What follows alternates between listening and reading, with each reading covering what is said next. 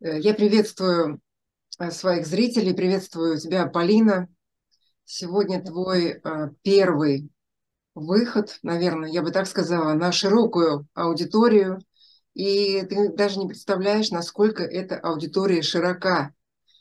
Действительно, потому что начиная с 2016 года, когда я начинала с аккаунта в Ютубе с пяти с пяти подписчиков, да, на сегодняшний день это больше 83 тысяч подписчиков. И это именно те люди, которые пришли на тему условного голодания, на тему очищения организма. Вот настолько велика аудитория интересующихся. А, и у меня нет ни малейшего сомнения в том, что это действительно люди, которые э, интересуются темой очищения организма как а, одного из базовых, важных средств и методов для всеобщего общего оздоровления. Э, почему я в этом не сомневаюсь? Потому что в противном случае тогда любые люди просто отписывались. И подписчиков бы становилось, становилось меньше. Но этого не происходит, из чего я делаю вывод, что действительно все темы, которые я затрагиваю э, вокруг очищения организма, вокруг э, хронических заболеваний, которые рождаются именно на фоне загрязнения организма, эти темы очень актуальны для моей аудитории. И вот сегодня у нас просто э, бомбическая тема, я считаю. Это нечто новое вообще. Я еще э, так плотно не касалась темы взаимодействия эфирных масел и условного голодания. Это громкое название, это даже претендует на не, некое такое ноу-хау, хотя на самом деле я понимаю, что это не является чем-то новым. Э, если просто логически да, размыслить, поразмыслить, что э, условное голодание, э, ну, по огонян мы имеем в виду, потому что мы только этот вид очищения рассматриваем, это очень древняя практика, но э, как бы старая практика, да, еще Арнольд Эрет там больше ста лет назад уже об этом говорил и практиковал то эфирные масла – это еще более старая практика. Это вообще уходит корнями в большую древность и об этом тоже можно много говорить. И на самом деле соединяются просто две древние практики в одну. Но то, что мы получили э, в итоге с тобой да, при э, соединении этих двух древних практик, э, просто не укладывается, даже, даже в мое понимание, это не укладывается, насколько это чудесным образом работает.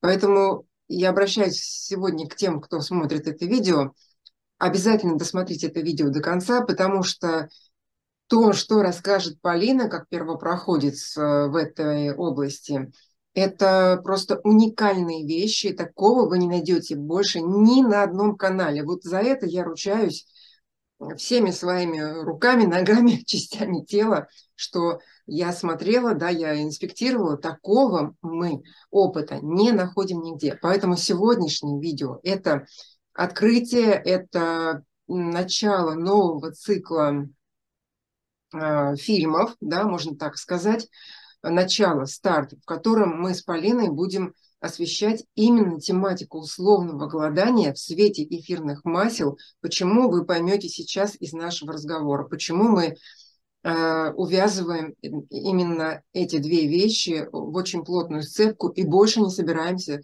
расставаться вот э, с этим альянсом. Почему именно Полина? Я хочу сказать свое вводное слово. Почему именно Полина стала героем этого сериала?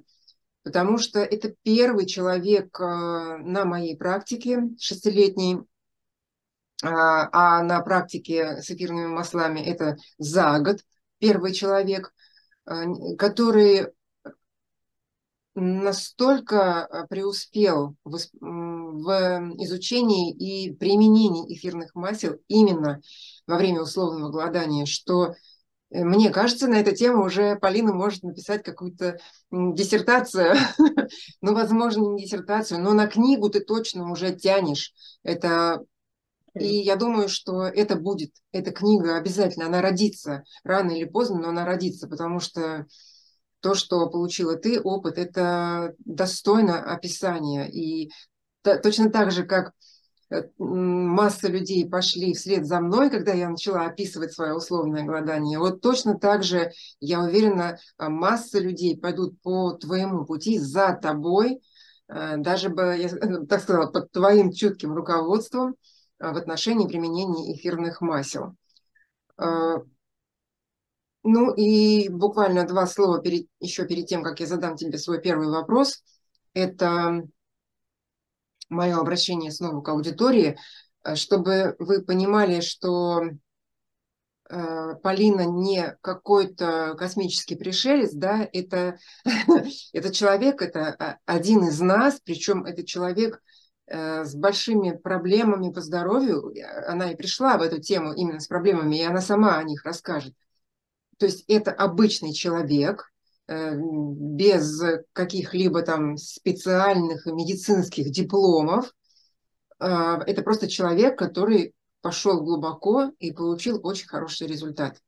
Эта тема соединения эфирных масел и условного голодания, она совершенно не случайна.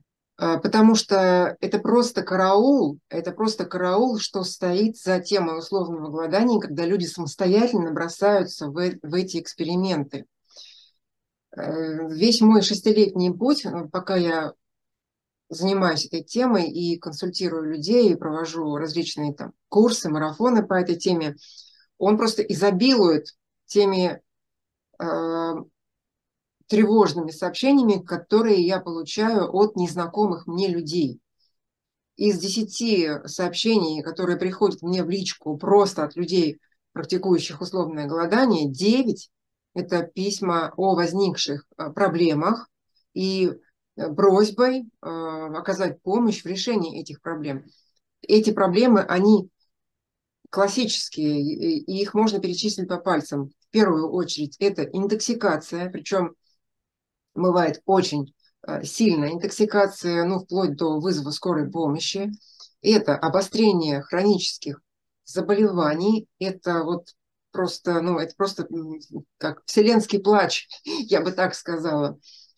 Это невозможность справиться с чувством голода и срывы на еду, ну и ряд других э, мелких проблем, ну, мелких или крупных, э, но вот эти три основные я назвала.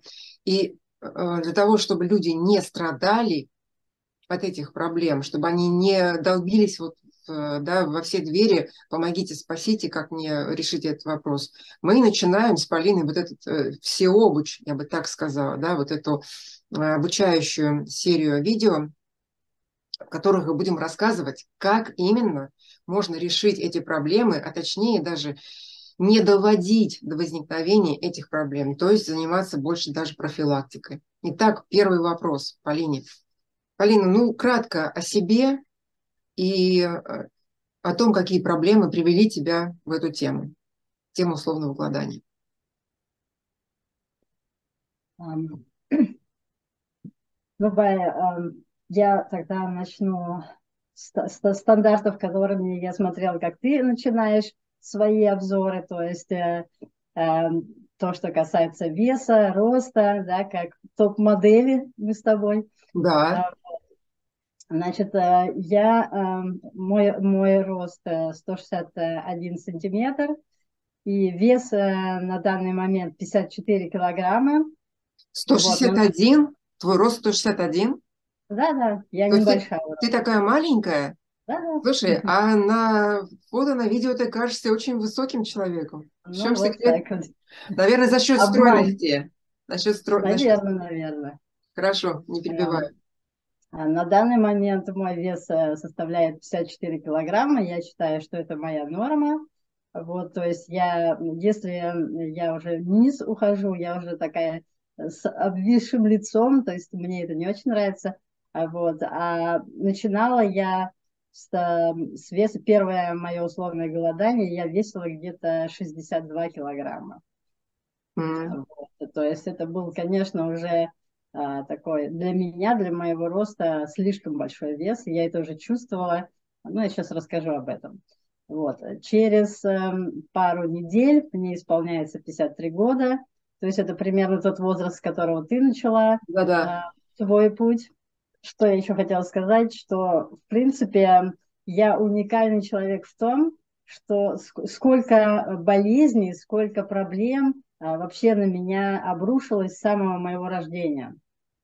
То есть уже где-то два, через два часа после моего рождения у меня был э, родовой сепсис обнаружен, и мне делали сразу переливание крови. А потом в пять лет у меня было первое аутоиммунное заболевание, склеродермия, поражение кожных, сустав... Э, кожных покровов. Это тоже э, было для моих родителей вообще катастрофа. Меня сразу начали эм, возить по врачам, никто мне не мог, э, родителям ничего сказать, диагноз не могли поставить. Меня повезли в Москву, там поставили диагноз, пичкали меня просто массой антибиотиков, оттуда, я думаю, и пошли все мои дальнейшие проблемы и проблемы, которые позже возникли, потому что антибиотики, это, конечно, мы знаем сейчас, да, что это просто катастрофа для организма. Да. Вот. И единственное, единственное, что мне помогло тогда, и ты, наверное, знаешь это место, да, около Сочи, э, город Хоста, Мацеста. Вот угу. эти сероводородные ванны, это было единственное, что меня спасло. То есть уже тогда, будучи ребенком, я как бы на себе поняла, что природные методы, э, натуральные методы, они самые действенные, самые лучшие. Угу. Вот. Um, ну, в дальнейшем, там, как у многих, наверное, я думаю, что у меня это еще и генетически, um, у меня обнаружили в 27 лет э, миома матки. Но врачи, ты знаешь, как они лечат, они наблюдают. Да, вот у меня наблюдали, наблюдали до 49 лет. И донаблюдались, что там уже бывает э, миома размером, там, не знаю, с мяч.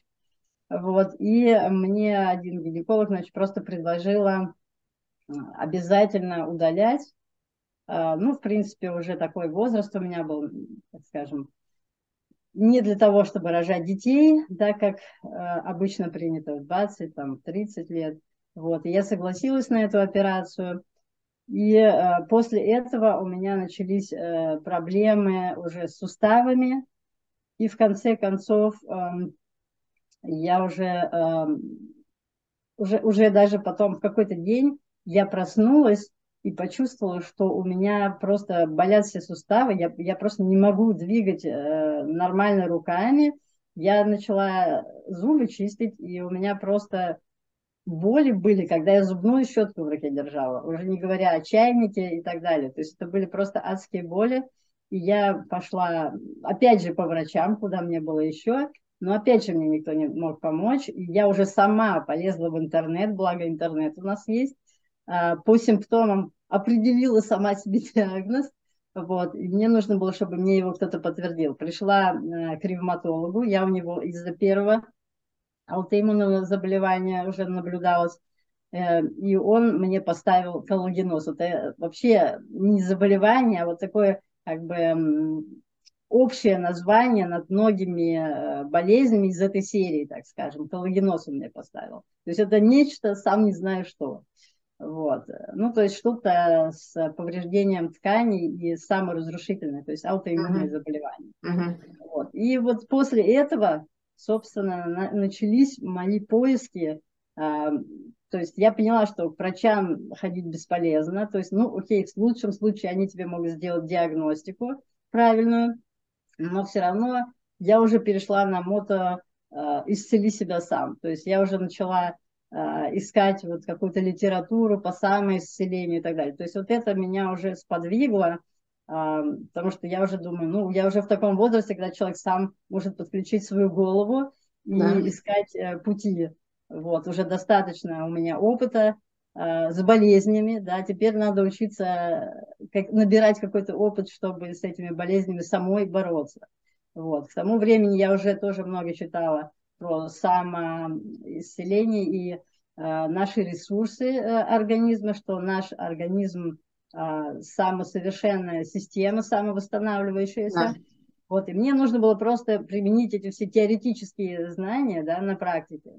Вот. И как подытоживаю этот свой ответ, да, что с чем я пришла к тебе, с чем я пришла на условное голодание, Значит, первое это вот э, э, коллагеноз, э, второе вот с гинекологической стороны у меня был эндометриоз, еще у меня был пародонтоз, остеохондроз шейный и поясничный, и вот разрыв в коленного мениска, там вот спазмы в мышцах у меня вот образовались. Вот с этим всем букетом я пришла на условное голодание, и вот обо всем этом мечтала, что все это избавиться от всего этого, и вот искала методы именно в условном голодании.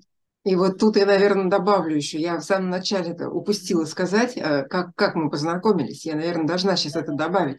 То есть, когда в каком-то году ты пришла ко мне как клиентка, вот с этим вот со своим букетом, вот я сейчас уже по прошествии да, этих лет, я могу сказать, что мне тогда было страшно.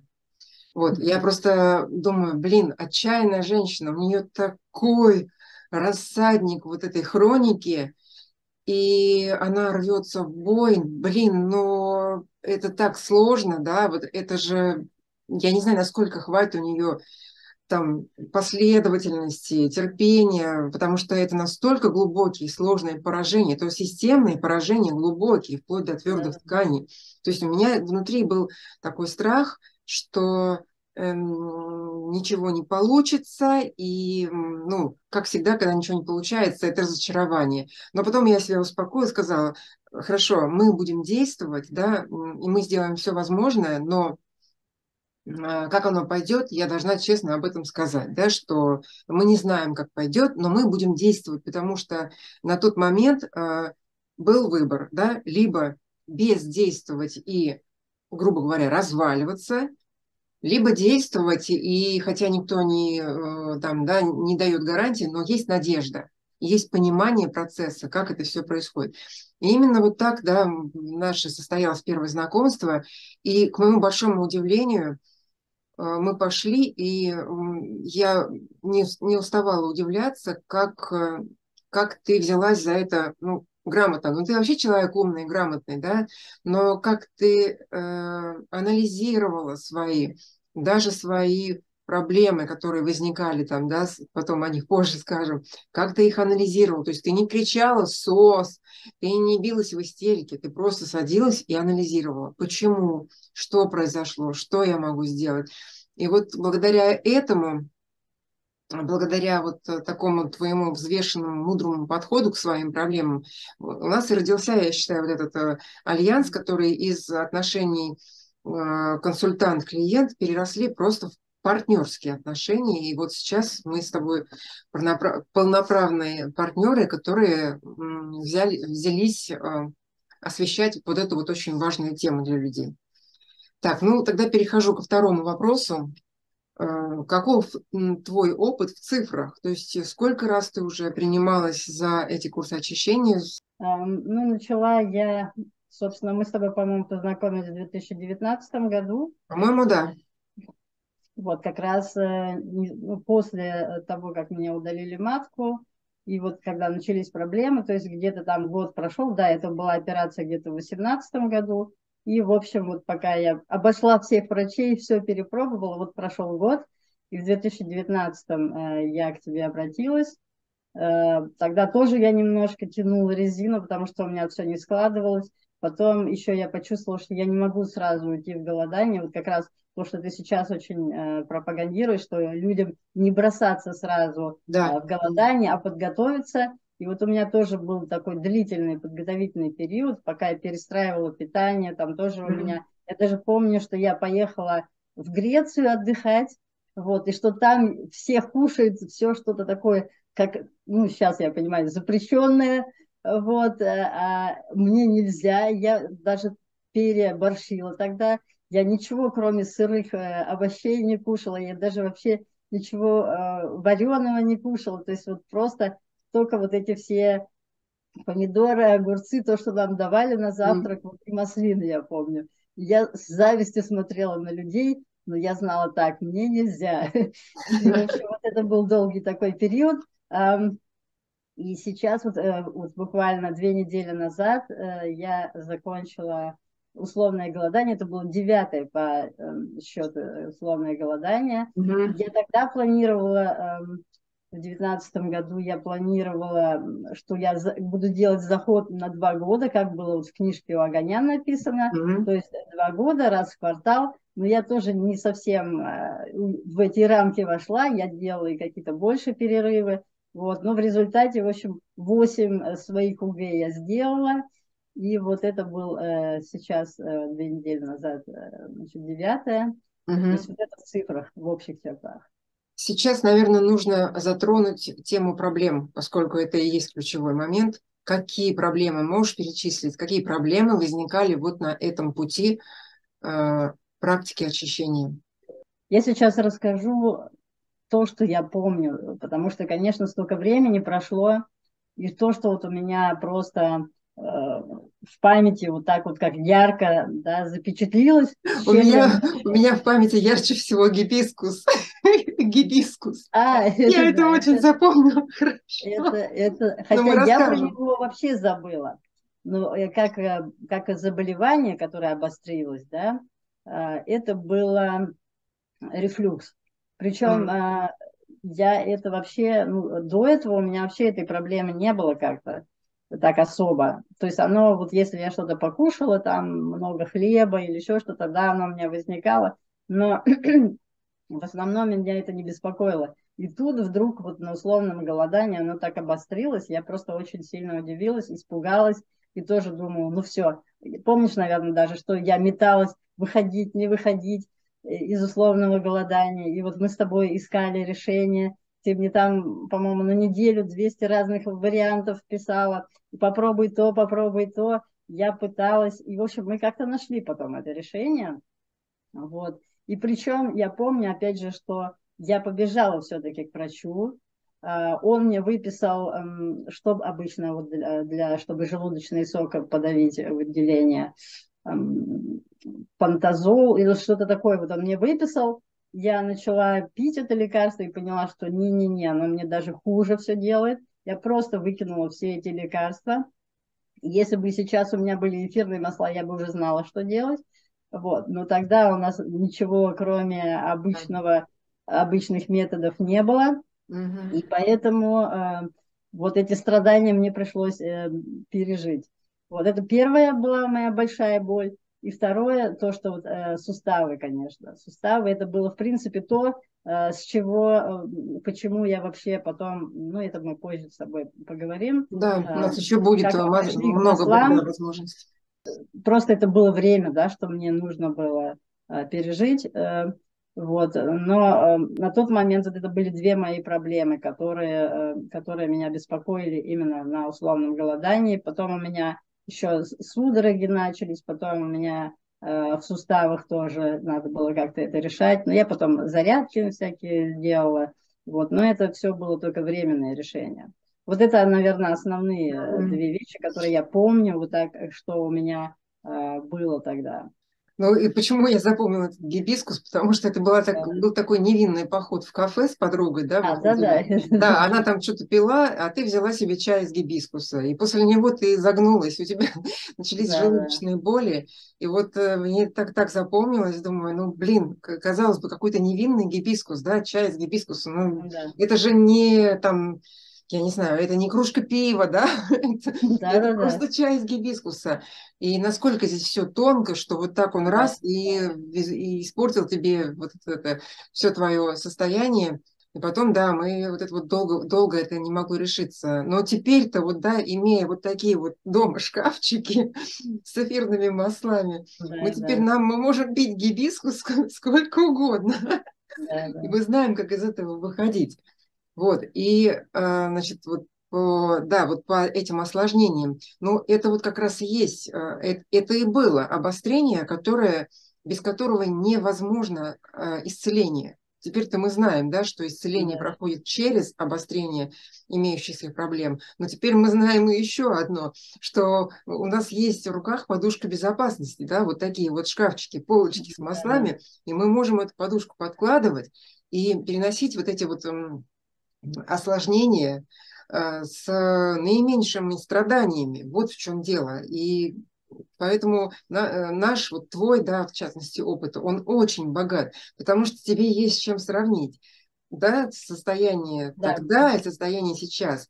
Ну, это, да, мы все это будем еще говорить, поскольку мы договорились, да, что у нас серия видео, и что мы еще очень много будем рассказывать да, людям о их проблемах, которые тоже являются и составной частью твоих проблем, да, и как их решать именно на условном голодании.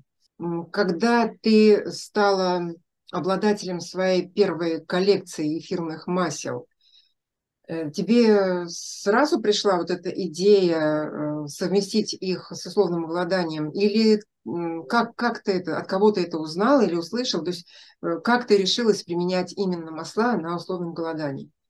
С, с, какой, с чьей подачей? Ну как, в общем, как это происходило? Ну, я, наверное, немножко прокручу назад, потому что ты перепрыгнула тот момент. Ты уже сразу начала, когда, что было, когда я получила аптечку. Я немножко откручу как бы время назад. Вообще, э, я узнала от тебя о том, что существуют вообще эфирные масла. То есть для меня, ну, они, наверное, где-то были, где-то я слышала, краем уха, но для меня это было не актуально. Ну, масла и масла где-то есть какое отношение они имеют ко мне. И когда да, я получила от тебя очередную рассылку, я тоже очень удивилась, что, в принципе, я уже в таком автономном режиме сама делаю условное голодание. Вот. И тут я получаю от тебя рассылку э, как раз на тему, которая меня волнует, потому что проблема с суставами, э, она не была до конца решена, э, даже несмотря на условное голодание. Я говорю, я погашала симптомы путем зарядок, вот путем э, регулярных очищений, но стопроцентного решения проблемы это мне, к сожалению, тогда не принесло. А, и вот и когда я получила эту рассылку, я думаю, вау, может быть и вот это решение, а, эфирные масла Бая. Бай, я, ну, тебе я уже доверяла, конечно, как человеку, который меня спасал, так скажем, в тяжелых ситуациях. И тем более я вот еще забыла сказать, что та проблема с суставами, да, я посмотрела, когда вот я искала видео, а, что это такое, я нашла видео, где молодые люди попадали с этими диагнозами просто в эти, как по-русски называется, инвалидные кресло, коляски. Кресло-каталки. Да. да. Вот эти инвалидные коляски. Да. Вот. И это меня настолько испугало. На самом деле, вот я тоже хотела сказать, что это и был основной, скажем, э, мотивирующий момент, угу. почему я так крепко за все это взялась, э, и тогда с тобой взялась в, этом, э, в этот эксперимент, втянулась, потому что мой основной мотиватор был страх. Угу. Иногда страх э, хороший мотиватор. Да. Ну, в принципе, да. То есть э, началось с рассылки, то есть, когда ты увидел информацию. Да, да, началось... тебе, то есть тебе сразу пришла в голову эта мысль, что это можно соединить, и эта мысль... Что это можно соединить, но то, что это используют на, на условном голодании, это, конечно, пришло позже, угу. когда я их испытала. То есть когда я получила э, твою рассылку, э, это был первый шаг. Когда я получила свою аптечку, это уже был первый э, шаг э, экспериментальный плана, то есть mm-hmm. я уже попробовала. Первое, что я схватила, конечно, было деблю. А, я нанесла тут же а, на а, ногу, которая у меня болела сустав. И вот у меня была актуальная, вот в тот момент актуальная боль. Я буквально вот нанесла деблю ну, с, э, с маслом базовым. И все, то есть минут, э, минуты через две может даже через одну боль была снята. То есть я вообще была в шоке, я очень обрадовалась. И поэтому дальше я уже, когда начала изучать дальше масла, я поняла, что, о, классно, вот у меня скоро будет еще УГ, может быть, я тогда попробую. Ну, ты еще много чего рассказывала про масла, потом в наших э, чатах и так далее. А, поэтому, конечно, все это меня подвигало, и эта вот идея так зрела, зрела во мне. Но, то есть, опять же, ты меня на эту идею и сподвигла. Ну да. Итак, мы э, видим, что э, основные проблемы, которые являются не только твоими основными, но и э, проблемами основными проблемами большинства людей. То есть это, во-первых, проблемы опорно-двигательного аппарата, это очень распространено. Это проблемы э, пищеварительной системы, ну и дополнительно это и кожные проблемы, это и проблемы других выделительных систем, и еще масса проблем. Э, и теперь мы можем, как говорят, закрывать эти проблемы, да, используя вот этот чудесный продукт, который э, за моей спиной, да, вот эти замечательные эфирные масла Дотера, а мы говорим именно об эфирных маслах Дотера – а, о том, что это продукт, в качестве которого сомневаться нельзя, просто по той причине, что а, это всемирно известный продукт, а, который имеет все необходимые сертификаты чистоты, качества. То есть мы знаем, что это продукт терапевтического класса, мы знаем, что он не содержит примесей каких-то искусственных добавок, это доказано сертификатами, а, эм, газовыми хроматограммами и всей многолетней деятельностью Дотера и всем многолетним опытом уже, наверное, теперь миллионов людей, которые пользуются этой продукцией. И в наш э, с тобой план теперь будет входить регулярный э, выход вот таких видео.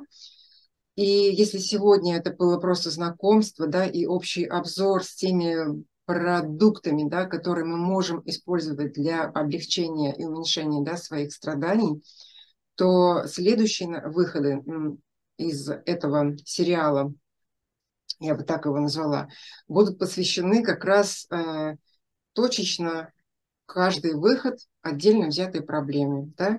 будь то артрит, артроз, будь то э, там гастрит, будь то кожная какая-то проблема, коллагеноз и все такое прочее, системные заболевания, аутоиммунные заболевания. Поэтому уже сейчас я могу призвать наших зрителей, чтобы обратить внимание вот на этот сериал, не пропускать новых видео, обязательно подписаться на канал, если вы еще не подписаны, обязательно нажать колокольчик, чтобы получать вовремя оповещения о каждом новом видео и не пропускать эту важную информацию, которую мы с Полиной будем транслировать. И самое главное, что у вас теперь есть возможность, вот у тех людей, которые а, практикуют а, очищение организма самостоятельно, у вас теперь есть возможность делать это вместе с нами и руководствоваться нашими рекомендациями, в частности, рекомендациями помощью Полины, которую, которую я уже не побоюсь назвать гуру гуру условного голодания на эфирных маслах. И если у вас уже сейчас есть желание а, проходить такой курс под присмотром Полины и получая ее рекомендации по применению эфирных масел, вы можете прямо сейчас переходить по ссылочке под этим видео, и Полина вам все расскажет, объяснит, как все сделать правильно, как получить этот продукт, замечательный, как э, сколлаборироваться с Полиной и со мной для того, чтобы делать все грамотно, под присмотром и на самом деле э, эффективно э, лечить себя с помощью натуральных природных продуктов, а не с помощью фармацевтики, которая, как мы теперь знаем, всего лишь гасит симптомы. Мы за глубокое глубокое оздоровление на очень глубоком клеточном уровне с использованием натуральных природных продуктов. Ждите выхода в ближайшее время следующего, следующей серии нашего сериала. И мы, конечно же, с Полиной желаем всем здоровья. Если вы никогда еще не пробовали очищать свой организм, то сейчас самое время изучать эту тему.